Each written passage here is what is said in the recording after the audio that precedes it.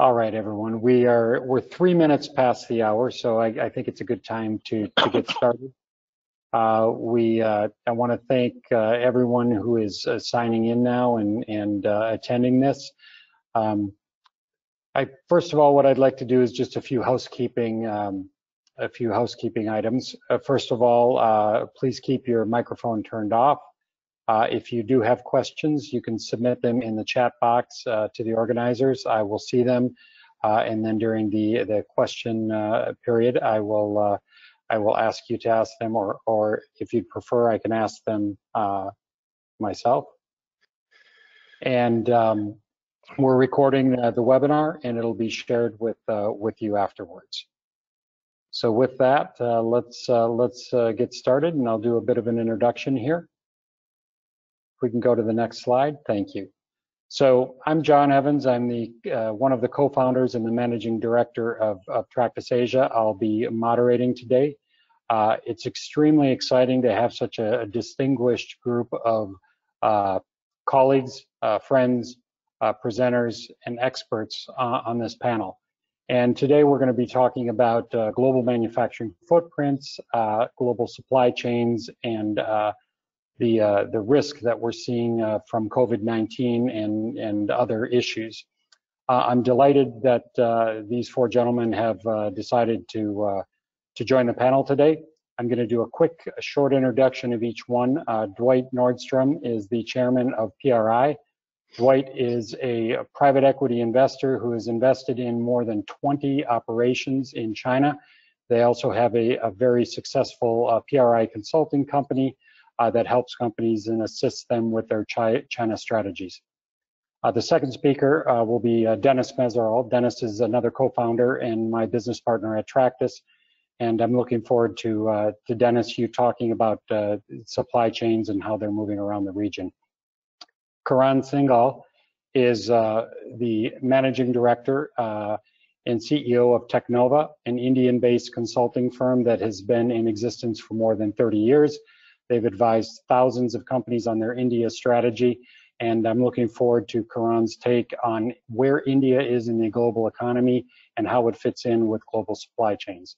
And then finally, a fellow uh, Minnesotan and uh, long-term friend, uh, Bob Hess. Uh, Bob uh, taught me everything I know about uh, supply chain back many years ago when we were colleagues together, longer than I'd care to admit. And he is the cha vice chairman of, of Newmark strategy consulting practice uh, in the United States.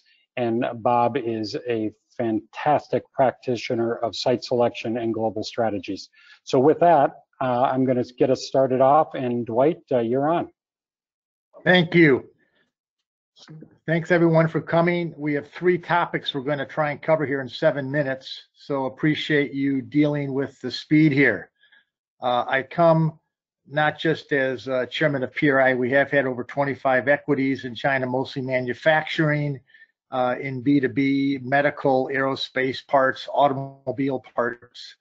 Uh, I'm in also my 17th year as chairman of the American Chamber of Commerce China, uh, the Manufacturing and Sourcing Forum, and, and that group has hundreds of U.S. companies. So I will try and give you inductive examples as we talk about what's going on in manufacturing in China. First off, understand China and manufacturing, if you look at the total world, somewhere between 25 to 30%, the numbers vary one or 2%, uh, of manufacturing in the world is done in China. And so even small changes in that percentage are massive in terms of its impact in other countries and are they able to absorb what's going on. In our nine op current operations in China, uh, COVID-19 did shut down the operations uh, for a while after the Lunar New Year, which started early this year. Uh, but by February 12th, my first operation got restarted. Uh, my last operation an engineering center was at 100% capacity by the first week of March. So all of our people, let's say about a thousand people, were able to return to their operations and work.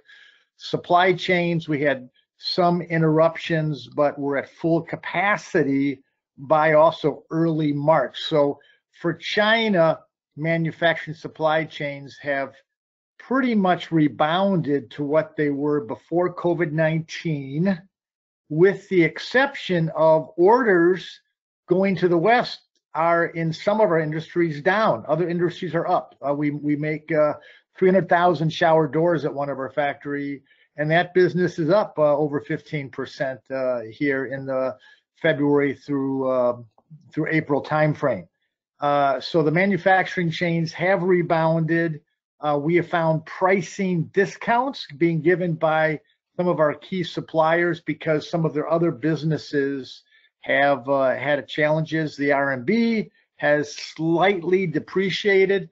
So uh, it's not a bad time to relook at your pricing negotiations with hungry suppliers that are having challenges. Now, having said that, our auto parts business is way down. That's both because of new cars are having challenges and people simply are driving less for the repair market. So it depends industry by industry, but in general, supply chains have rebounded. We had a couple weeks where logistics were an issue, uh, both with uh, ocean freight we don't do as much air freight. We try to get away from that. When we have air freighted, we've seen cost increases of over 2.5 times what they were fourth quarter uh, of, of, of two, 2019 and also difficult to schedule. So if you're dealing in PPEs or related, expect challenges.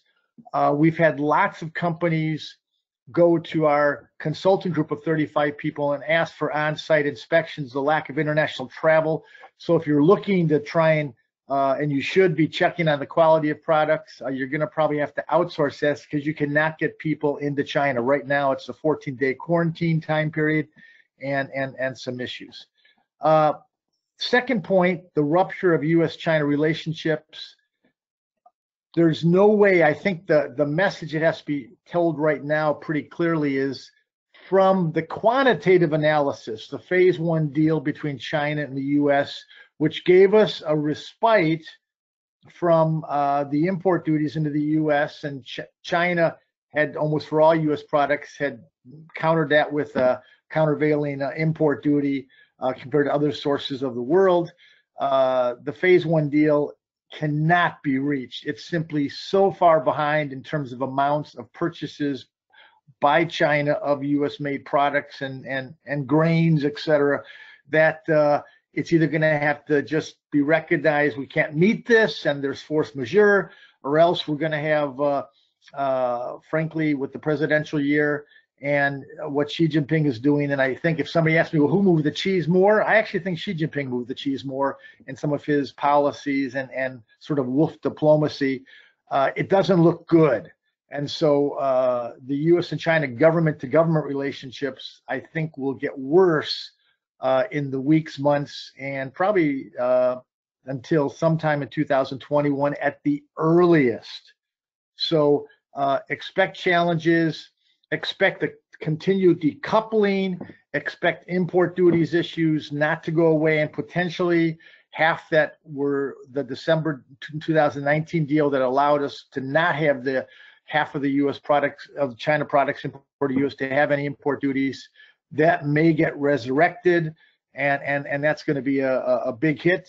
Uh, so that should be factored into as a risk factor. So in the decoupling, if you want to sell in China or its associated uh, friendly countries, I think you need a manufacturing base there. But if you're looking just at the U.S., uh, manufacturing in China faces a lot of risk going forward, and they need to be calculated um, in terms of all your whole production scheduling, what products you make where, et cetera. In terms of the status of U.S. private equity investments, uh, again, uh, we are a family fund. Uh, even though in my time, most of my time, my last 30 plus years, I've lived and worked in China. I've been a general manager now of seven factories in China. Uh, it was until uh, I would say late 2019 when we would uh, work with other U.S. private equity groups the valuations from a PE ratio, again, that's just one of many ways to do valuations, uh, were actually higher for the China portions of EBITDA than what, what were for the US. So in general, it was a positive thing for a US company, a US privately owned company to sell in the private markets, that if they had a China piece of the business, the PE ratio was actually higher than the US side, typically 0.5 to maybe a, a, a two points increase in that, which is significant in your final purchase price. However, today uh, we're seeing, uh, first of all, there's just simply not enough data. The market has just collapsed. Uh, private equity relies typically upon a lot of debt financing, different stages, different types of debt financing from your 4% interest to 10% or more. And getting that financing today is very, very difficult. So I, when I say what is the status, I wanted to say, first of all, it's tough to get a deal done today. So just recognizing, having said that, um, uh, what we're finding is because due diligence cannot be done in person uh, with U.S. private equity is going to look at the China operations. Uh, there's just been delays. There's been discounts. There have been clauses in contracts that uh, you would not typically have seen because uh, most things you want to, you know, do a nice clean uh, bill of sale, et cetera. So uh, it can be done. I think you want to look for different alternatives. Run away if a Chinese buyer wants to be involved unless you're really under extreme duress because they're not going to be able to get the money out of China in a in a in a reasonable time period. And frankly, they're probably just looking for either uh, they're doing catfish hunting, looking for a bottom side deal, or um, they're just looking to get information. And, and so I would be extremely cautious of that in, in, in, in this world um, and could give examples of that. So thanks for listening. Dennis.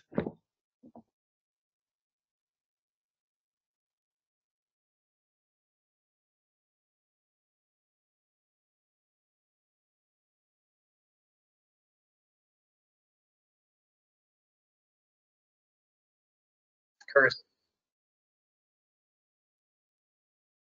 The a Chinese curse that uh, that Dwight uh, probably knows about, and it's it's uh, it's called "May you live in interesting times," um, and that's supposed to be a blessing, but typically used quite ironically.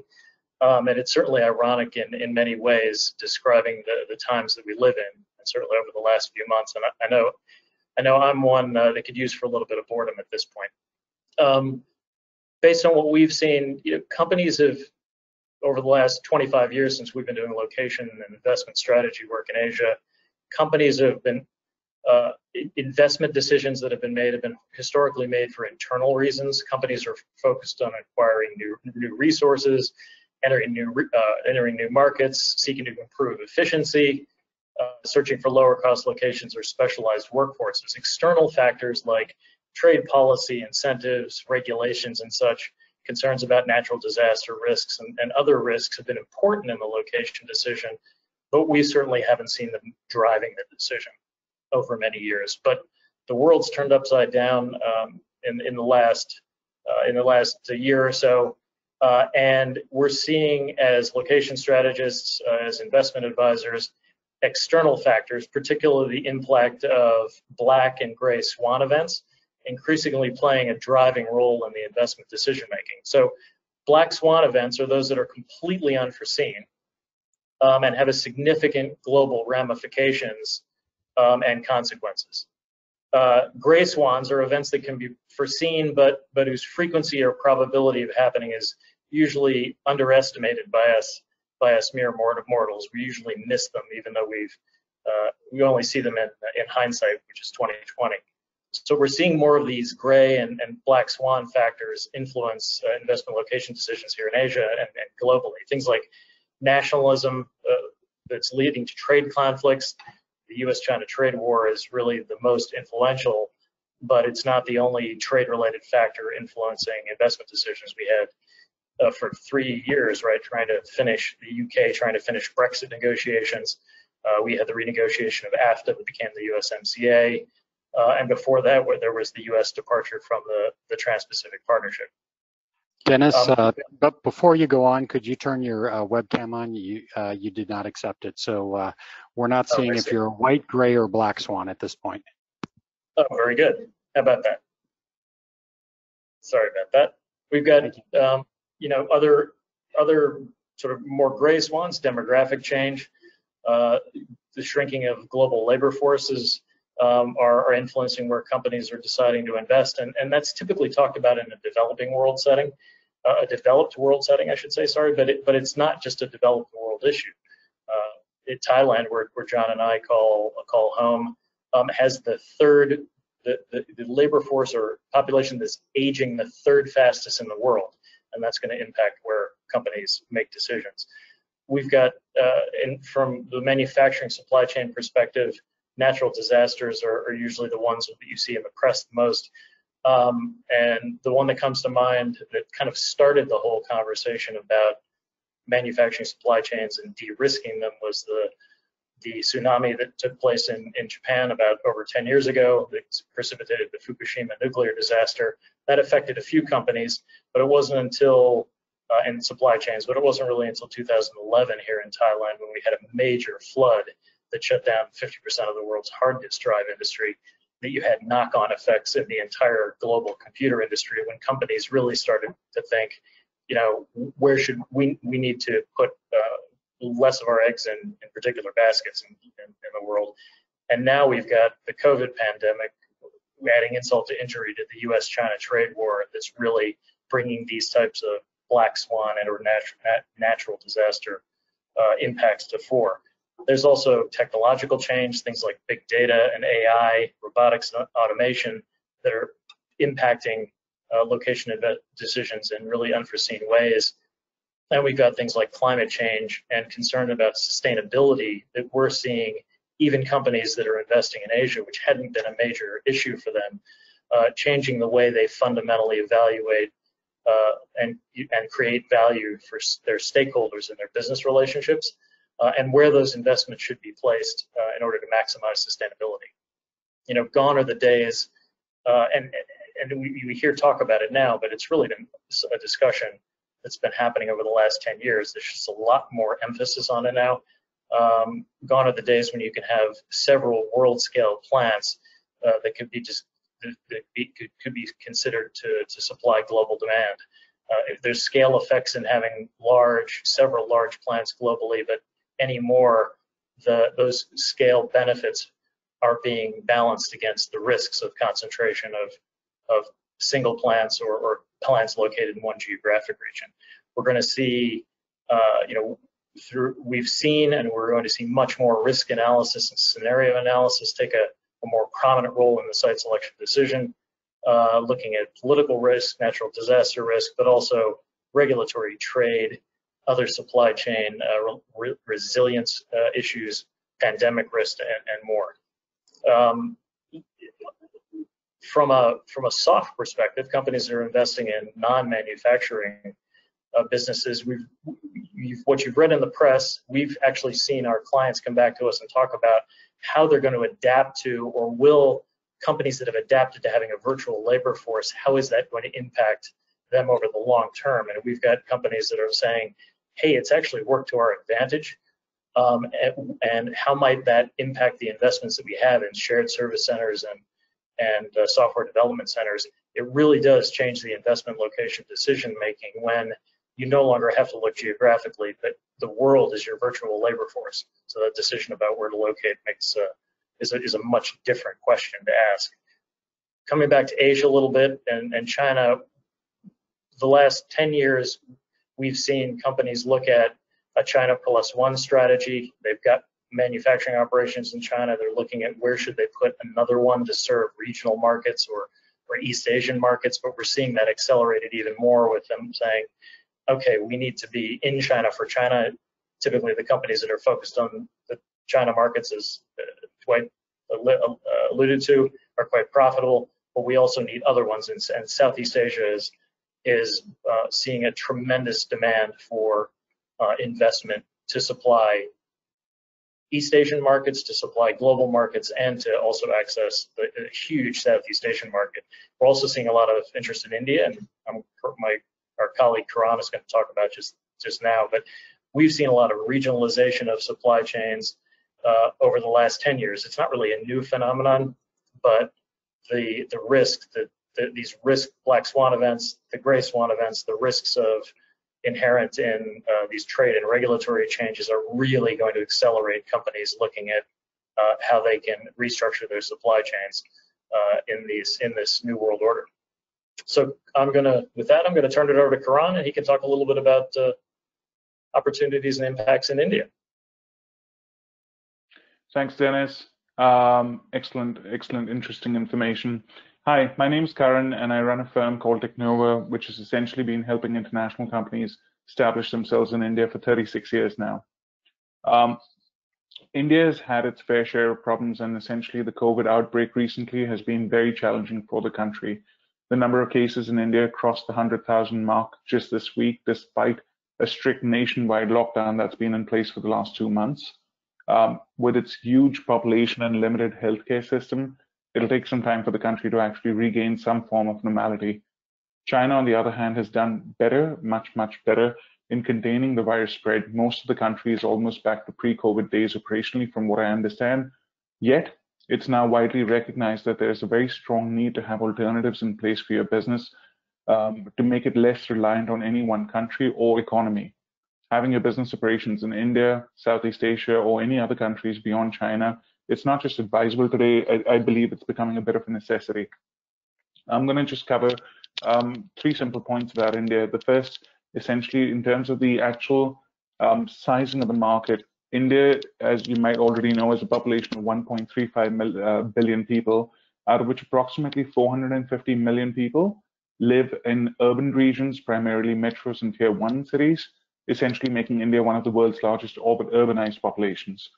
English is commonly understood and spoken across the country, and the average age of the population is uh, quite low. It's 29 years old. In my opinion, this makes India a huge target for domestic consumption. And as the per capita income rises in the country, the growing domestic demand coupled with the abundantly available cheap skilled labor makes India an attractive destination for local manufacturing that's not only going to be able to cater to the domestic demand, but also be highly competitive from an export standpoint. There's actually been a lot of changes in India since 2014, ever since the Modi government came into place. Um, between then and now, um, India has moved up 79 places in the World Bank's Ease of Doing Business rankings, moving from number 142 down to number 63 today. This has essentially happened due to a series of reforms implemented in the country. The system is today much more efficient. It's uh, it's faster uh, when it comes to business essentials like forming companies, attaining construction permits, um, cross-border trading.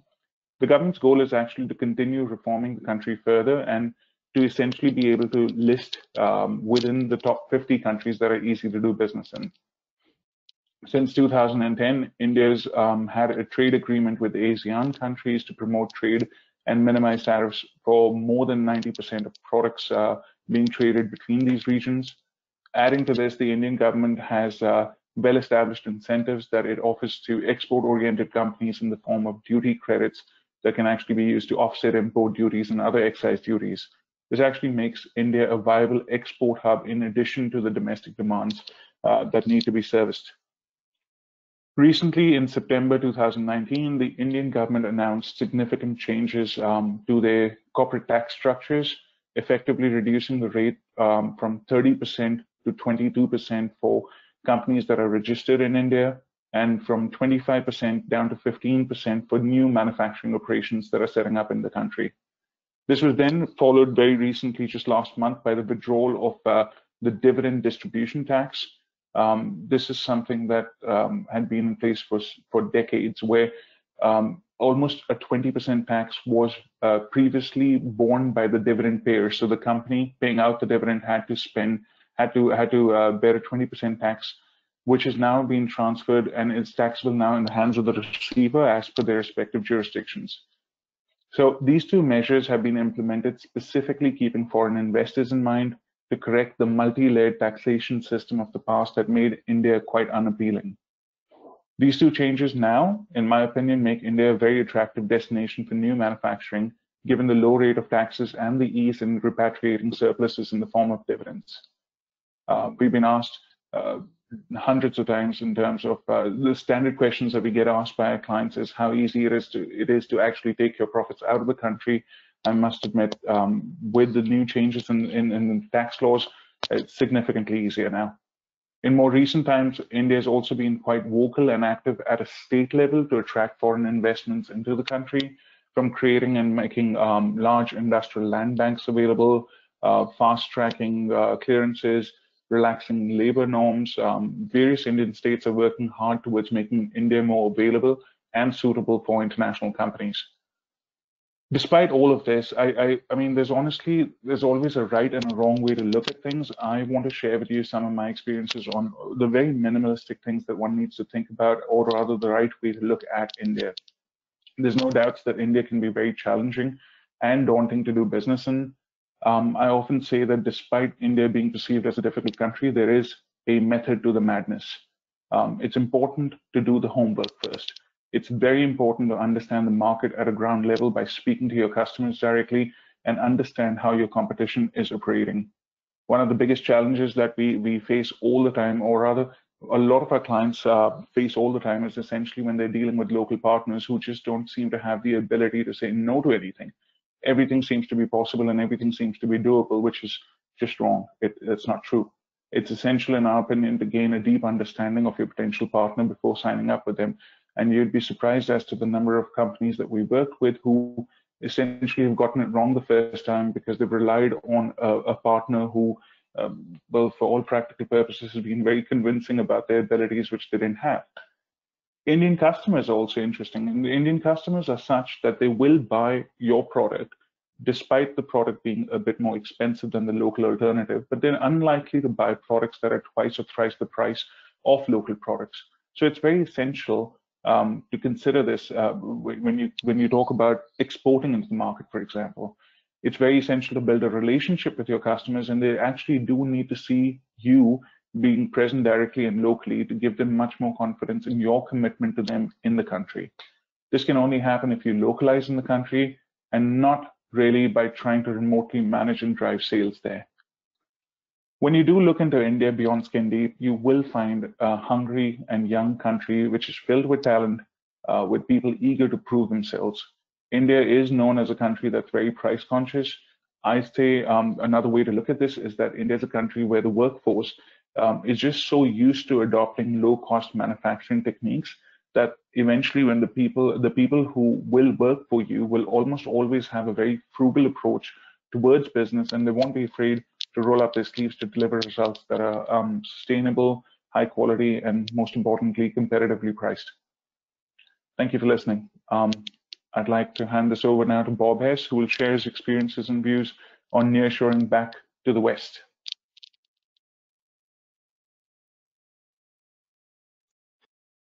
Good afternoon, evening, or where everybody is in the world. Uh, thanks for joining. Um, what I'd like to do today is talk about three components. So lots of qualitative discussion, a lot of trends um, have been discussed uh, exhaustively in the last few months. My colleagues did a great job at framing out these drivers and these perspectives.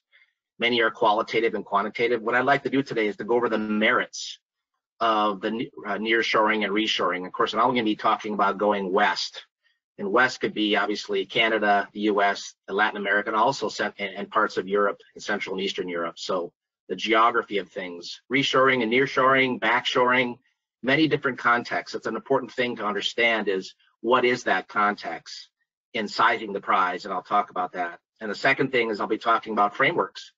Uh, so how do you actually go into the boardroom and interest the board, the stakeholders, your clients, your customers, suppliers that you should go through some sort of change like this. Then, of course, the decision making process. So maybe it is time to go home or closer to home. So, what are the merits of that? Um, as Dennis said, the China plus one strategy, these decisions are more about expansions like the N1, N1, N plus one situation rather than a relocation. Also about a product line, changing customer patterns. There's a lot of different drivers and objectives but to size the prize, um, I think it's really important in terms of jobs. That's what's in the news right now. There's 90 million manufacturing jobs in China, and 13 million in the United States, 4 million in Canada, similar amount in Mexico, maybe 13 to 15 million. A lot of that's agriculture. So if you just take 90 million jobs and say what could be reshored or backshored, any let's say one to three percent. It's not 10 percent or 15 percent, folks. It's one to maybe one to three percent. Do the math. 1%, if I, if I do my math correct, that's 900,000, 3%, 2.7 million. So sizing the prize here is a million to 3 million jobs at stake that could be reshored or backshored. That's a lot of jobs relative to the size of the US or Canadian or Mexico markets. Uh, so keep that in mind. Um, and then the second thing is on more on the distribution side, Dwight talked about that and others about regionalization and of uh, supply chain and distribution and uh, the whole supply chain. When you look at the concept of just in time versus just in case, just in time might mean you can have a plant in Mexico supply US or even a plant in China and supply the US, depending on the speed of, uh, of the actual supply chain getting things to the facility. Just in case right now is huge, right? PPE, being closer to the customer, immediate supply. If you just changed 5% stock, safety stock, of all the distribution space just in the United States, that would require almost another 1 billion square feet of distribution space. So that's what everybody's looking at, sizing the price in terms of those jobs in that space. And actually the developers, the supply side in the Americas, they're preparing for this. They're looking REITs, developers, they're looking at actually investing dollars in this supply side. So that's real. So where's the demand? So the demand is, is right now is the key thing. So the second point, so that's Mexico, Eastern Europe, reshoring back to home. So where will that demand be? How are you going to look at it? There's frameworks. All these shorings, I mean, what's the practicality of this? There's lots of options and variables. So let's talk about all these qualitative and quantitative variables. And a lot of times when companies look at these decisions, there's probably 40 or 50 different variables. Uh, obviously, there's the cost side, labor, transportation, inventory, you can quantify everything that uh, my colleagues talked about. You can quantify risk. Uh, you can quantify time in transit. You can even, you know, quantify issues of, I'll call it um, business climates or, you know, clusters and ecosystems. Uh, obviously, duplicating a supply chain, that's a tremendous amount of risk and investment.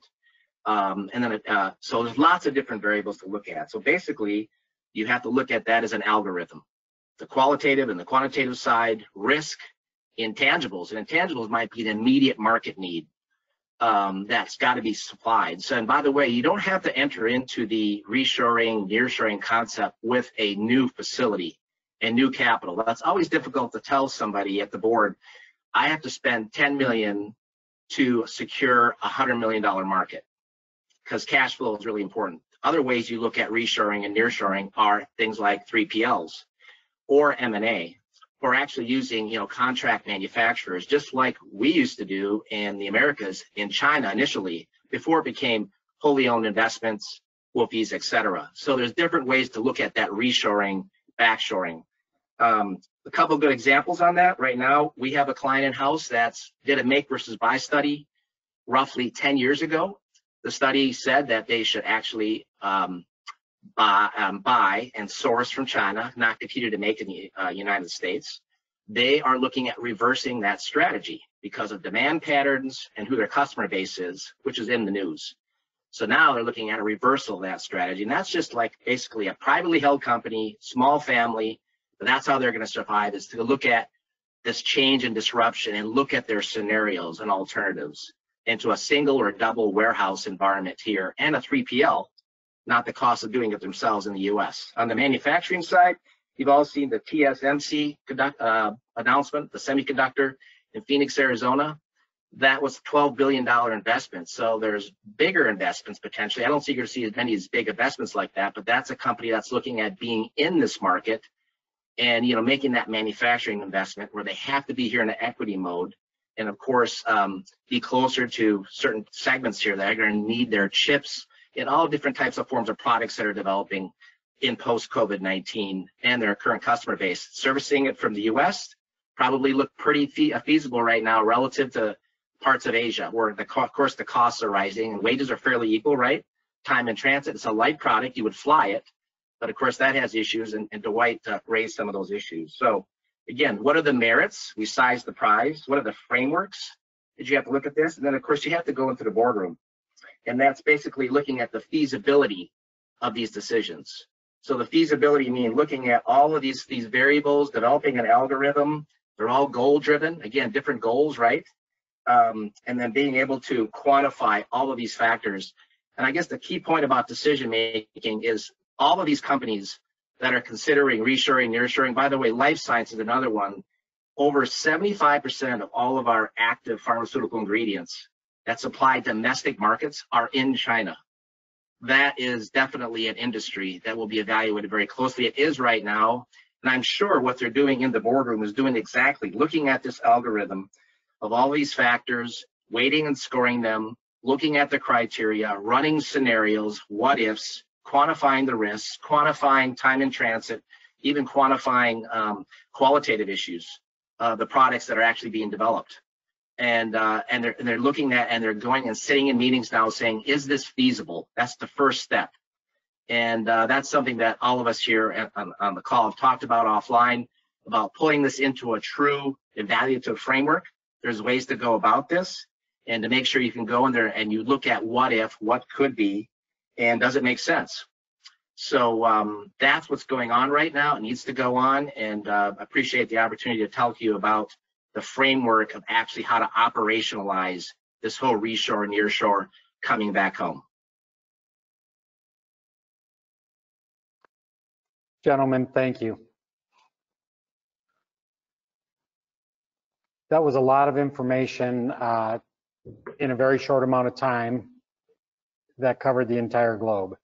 And so uh, I'm sure that there are going to be a number of questions. Uh, I've already seen some of them coming up. Uh, I, what I'd like to do though is I'd like to start first with just a, a question that I have.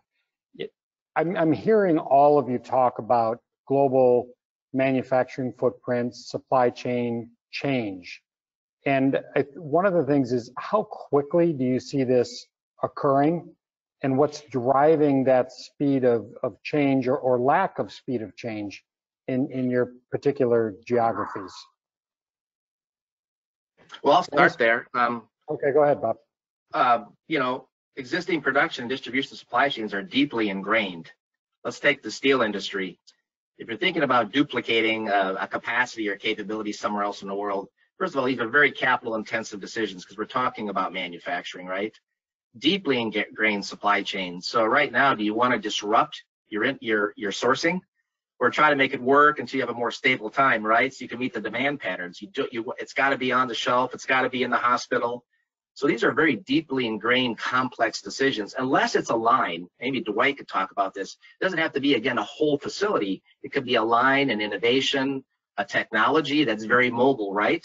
And you put your toe in the water. So maybe the toes in the water or the changes are in place, but not the big, I'll call it giant relocations of a lot of assets. John, an example would be uh, overall, our companies have done well, but one of our operations, we're going to have to shut down. Uh, we were 60 plus percent dependent on a U.S. high technology uh, customer, and uh, they had paid since July of 2018 25% import duty. When they got when they had paid five million dollars of import duty, they came to us and said, "We just can't keep doing this." In that and it was a very demanding application for them to do their transfer to a contract manufacturer in another Asian country where it did not have the U.S. import duty. Uh, it was scheduled for an 11 month transfer. We worked with them on that. So most levels of production that, I mean, you've got the workforce to train, you've got quality issues. Uh, the 25% import duty in the US is really a make or break. You know, when it's five, 10%, you sort of live with that. So I, I, I again, this is to be very specific. Uh, there are strategic issues we are seeing right now. Example, we are suppliers to uh, Apple and some other large telecom equipment manufacturers. They have simply come across and said, we need X percent. Again, it depends, is it the antenna or something else, but 30% uh, made outside of uh, China. So uh, that they've given time to, but it's a general direction that's happening as, as, as things go. So uh, you got to work with your customer. On the flip side, I'll tell you on the aerospace side uh, and this decoupling, uh, what I would just say, we have Chinese customers that now have to go through enormous paperwork to get approval to buy U.S. aerospace parts not for the U.S. DOD, uh, DOD or ITAR re, uh, restriction issues, but simply the China government has an informal policy. We don't want them to be reliant, uh, like Huawei, on, on, on certain U.S. critical components. So Um, these are all ones, you know, customers are driving things. Kar- And John, Karan, you know- oh. Karan, No, so- India. I was just going to say. We- India, speed, fast or slow? Um, I'd say uh, somewhere in the middle, leaning towards fast. I think the reality is very simple. The challenge for India, and now, okay, we've seen this. It's not just about the COVID situation right now. We've been experiencing this, experiencing this for the last 15 months, ever since the trade war started between US and China. We've actually seen the volume of queries coming to us from American companies looking for alternative sources in India, um, specifically in the automotive sector and industrial applications go through the roof. It's it's doubled. It's beyond doubled. But the reality is, I think the big challenge for us in India is call it because of the economies of scale. We're not able to match those prices as competitively. Uh, I think consistently across the board, the, the message that I've seen is that the quality of products is at par. It, it can be improved further, but it's not that bad. The reality is India seems to be about 20, 25% more expensive than China. And unless um, Indian entrepreneurs or Indian businesses are able to scale up to that level, matching those price points is is going to be a bit of a challenge. I think we'll get there, but it's going to take a while. Dennis, any, any further comments or should I move on to the next question? Yeah, I mean, I think you've, we've seen the, the impacts of some of the things that Dwight was talking about in Southeast Asia. This is kind of the destination of uh, first resort, as it were, for companies that need to move some of that manufacturing capacity outside of China, very close by, uh, kind of culturally similar, easy to, uh, a little bit easier to move. And also you can still link into to some of the, the China supply chains for really uh, critical components. So we're seeing an avalanche of those kind of products, projects, not only Western companies, but Chinese companies that need to move some of their production out as well. John, can I just add on to this quickly? Uh, the other factor right now is automation and intelligent automation and lean. So before you move anything or look at any type of reshoring and nearshoring and uh, uh, all the CFOs and executives want to say, what can we automate? What can we change? You do that before you actually make these big investments. So that takes a while. You got to study that, evaluate it, and it's not one for one, one for one job from here to somewhere else. So that 55% of a recent survey we did said that companies will accelerate their automation. Very important factor. I, I think that's a very good point, uh, Bob. I, am going to go to some questions uh, fr uh, from the audience. And one of those is uh, around the worsening U.S.-China relations. And uh, I think this is a good good question, uh, Dwight, for, for you, but also Bob and, and Dennis on, on companies that are moving from China. The question was, in terms of reshoring trends, uh, is there are there particular locations that we see this going? And in that question about speed, is it go, is it going to accelerate now uh, with the with the current U.S.-China relations? Sure. In this case, John, let me take in my position as chair for the AmCham Manufacturing Group. So I'll take 500 company U.S. companies there. Uh, the data that we recently collected in March, so it's dated to March, uh, but COVID was already affecting it, was uh, Vietnam was actually perceived at capacity. So surprisingly, it wasn't in the top three, but the top three destinations of U.S. companies in China going to other locations the US was not, it was a fifth choice, but it was Mexico, Thailand, the Philippines.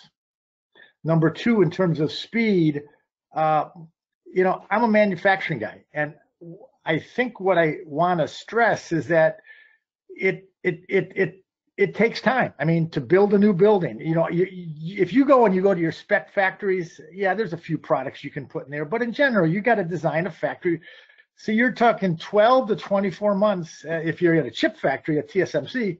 I mean, you're looking at a five-year type of scenario. So I would just, uh, what is clear is not, let's not talk about the speed, but the direction.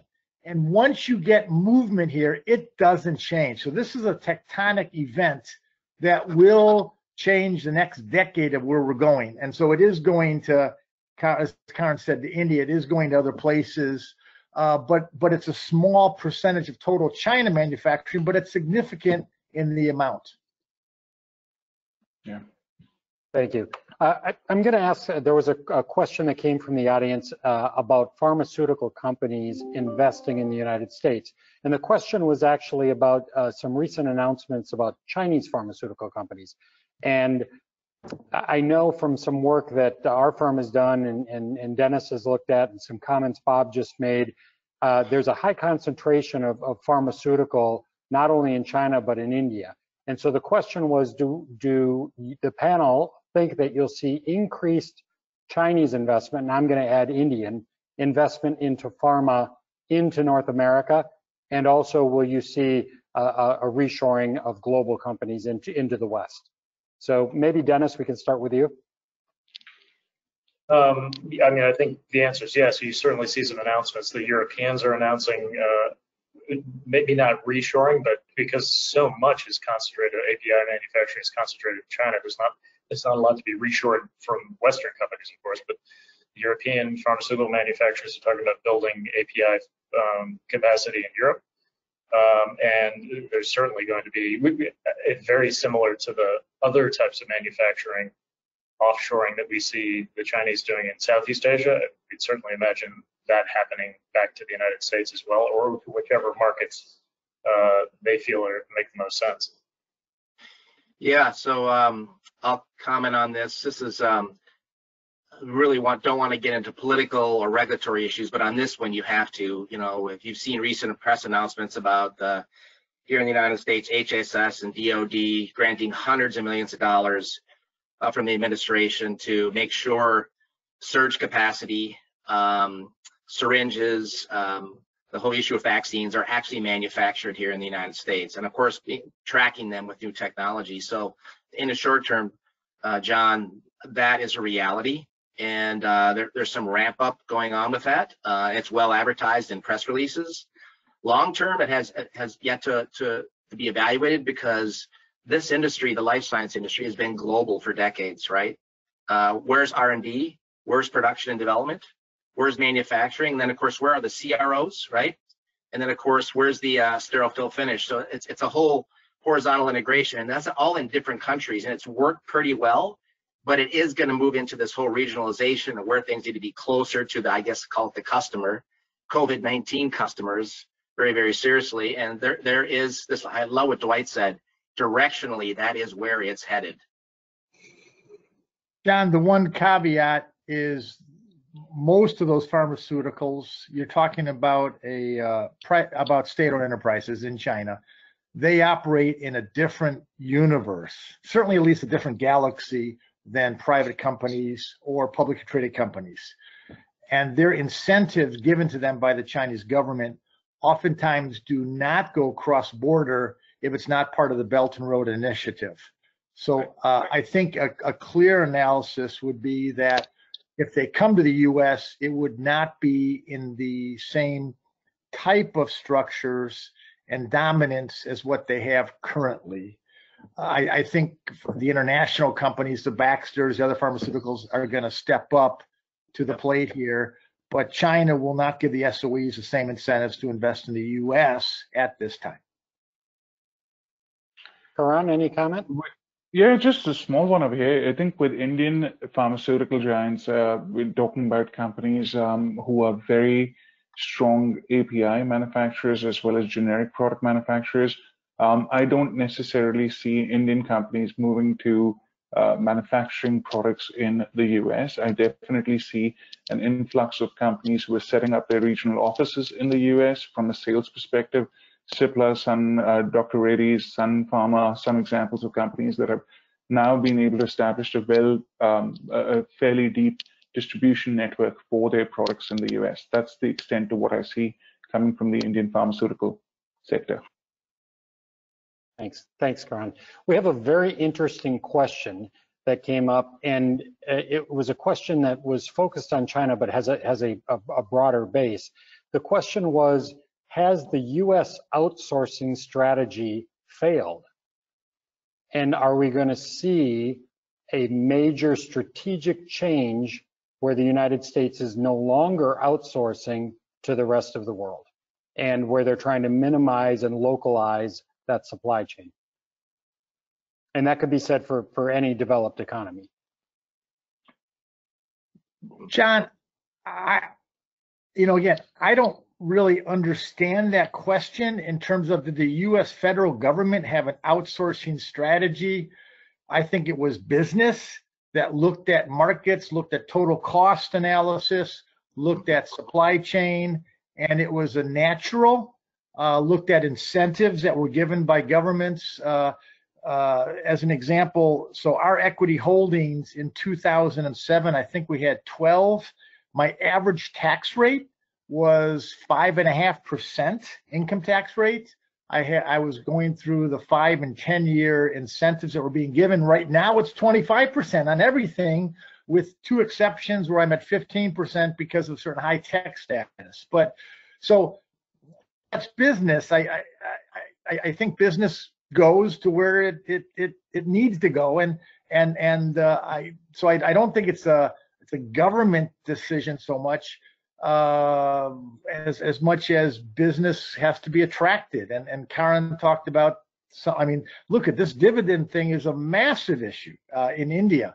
Our company lives on dividends, and you know China's got a 10% withholding, but fortunately it's fully credible against U.S. taxes. So so far, so you know that's been a, a, a way uh, we you know that that that that money we live on.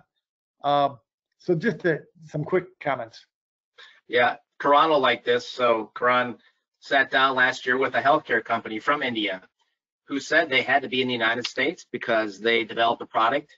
Uh, the R&D was fantastic in India, and now they needed markets. It's like Dwight Yeah. said, it's about market access and securing customers uh, and and the cost, you know. Um, and of course, um, there's in for in. I mean, the markets are developing all across the world, so 3M is not going to relocate a plant from China to the United States. They have an in for in strategy. They have to be in market for that market, just like they're in the United States. Again, there could be lines or carve outs, and of course, there could be influencers that we're hearing in the news that would impact some of these industries. But I agree with Dwight. It's about business and markets, maybe even getting around tax and regulatory anti dumping laws where you had to put a steel plant in the United States because you couldn't ship steel ends. You have to manufacture here. So I, don't, I wouldn't say it's a failure. It's business, and but there's some strong influencers coming out there that are being impacted by COVID-19. Yeah, and we've seen that before, right, Bob? I mean, in, in the North America, there was the cycle of over a decade. You had all the Japanese transplant automotive manufacturers moving there. Right. Bit of a regular, bit of a regulatory push on that one. That's Uh, right. And there was massive supply chain shifts. So we, there's all different kinds of factors that are going to impact that. Jo- John, yeah, you know, so let's talk about a couple of our startups. So these are green, these were greenfields in China, uh, in the telecom area. So we had Samsung in the auto parts, we had General Motors. They would give us one to four year contracts. And they would say, okay, you can supply from your European, US current base for the first year at this price. Day 366, you've got to have a factory up and running in China we'll buy it at X at Y price. And if you're not up and running, we'll keep buying from the US, but now you've got to show a 15% decrease in pricing. So, so those type of incentives on the reverse side, if if you have some of these major pharmaceuticals, J&J or others that come to us and say, okay, we need you to be in the US and we'll give you this sort of advance uh, purchase. Con- These are typically not 20 page contracts, but are typically three pages, but more than just an MOU, a memorandum of understanding, but not a fixed contract and saying, okay, we'll buy, as long as your price, quality, delivery meet these, we'll buy minimum of Y amount. If we see more of those contracts today, I don't have any of that happening. Um, uh, so it just uh, as a, so getting back to the US, I, I do have people saying you got to be out of China, but not people saying you got to be in the US. So for us, the decisions to do a China plus one strategy, the, the plus one is not the US requirement. It's simply be, be outside of China to avoid the US import duty. Thanks, thanks, Dwight. Um, we've got just a couple minutes. I'm gonna, I'm gonna finish up on a question. Uh, it- all the business persons, uh, all of the consumers that are listening to this, everybody wants to know about the economies. And, you know, wh- where is your economy heading post-COVID? Okay, and then what does that mean, do you think, for the global economy? And I'm just gonna go kind of right down the line and, and Bob, you know, you're, we're going to talk about the West, but North America. What what is what does COVID mean for the economy, and and where is it going to be in three years? Well, we're out of the shock phase and now we're in recovery, and uh, not, and it's going to be kind of a clunky, jerky, interesting recovery. Uh, everybody's interested in recovering quickly, but this balance of safety and getting back to work, um, there's there was never any playbook. There were no playbooks. So everybody's developing their own playbooks right now, and it differs by asset type, industry, geographies across the country. So uh, for me, the, the economy has a strong correlation in terms of how we communicate, work across all of those government and public and private sectors. By the way, public-private sector partnership for me is a huge correlation to how quickly we recover, how they work together, those sectors. Just not the government, just not the private sector. Uh, and, you know, time will tell. It's really early to be uh, uh, the mighty Carnac here and project things. But, uh, you know, the concept of V versus U versus a hockey stick or, uh, or a swoosh in general, uh, I'm not an economist, but even even our own leaders in our own company are, are thinking more like a swoosh or a hockey stick. And and that's realistic because it's, it's really kind of hard to you know, kind of move from now to next in, in just weeks. But we hope it will. And there's certain sectors that are already doing well. Look at Walmart's and the Targets. Holy cows they're exploding, right? So there's different set. You got to know where to point the rifle in the economy, John. Target. Thank you, Bob. So if the world's number one economy, it's not very clear how long that recovery is going to take. Dwight, the world's number two economy, does that does it get pulled down by number one, or does it recover and and blossom? Well, the the hope, if, let's go back to third quarter of 2019 and before it was we want the Chinese consumers, the 400 million middle class people, to be up and buying. And that was driving, you know, uh, the last five years, it was driving like 40 to 50 to 60% of the world's growth. China was growing to 6% plus six to, you know, uh, we had 25 years of, of six plus percent growth uh, with one slight tick in 1997. Um, we, I don't know, Bob. I don't know, John. So, so when we go from the, the, the economy that drove domestic demand and, and growth to the one that could, Karan? Yeah, you know what? Uh, interesting question. Okay, I think as far as the COVID situation in India is concerned, India um, is is struggling to cope with it right now. I think the reality is, as as uh, Bob mentioned over here, none of the governments, not at the state level or at the central level, really know what to do and how to do it but that's sort of something that I've been seeing across multiple countries around the world. I think it's going to be um, a very challenging situation for India the next six to 12 months. Um, and I think, quite honestly speaking, a lot of people that I speak to who are industrialists in India, the government's given the go-ahead um, effective last week. Business is back on despite um, despite the health risks. Uh, the government's basically telling the people get back to work. So I think there is the economy has been self-reliant more entrepreneurs have been reliant on themselves more than the government for their business and i think they're getting back into gear so i think there is going to be a recovery despite the health uh, fallouts. And, and so dennis the average economic growth rate of the 10 asean nations has been about 5% for more than two decades. So while you know china was making all the news asean kept growing. Post covid does it continue? post-COVID, it's going to depend on Dwight, Dwight and Bob's predictions because the Southeast Asian markets are so heavily trade trade uh, weighted. Thailand's probably the heaviest, maybe 75% of, of GDP is based on trade. Uh, it's and the big markets are Europe, North America, and, well, and then now and more recently China. So faster, and China being the closest, the faster China can recover, the faster that's going to pull up Southeast Asia. Um, and it's, so it's going to be a long slog.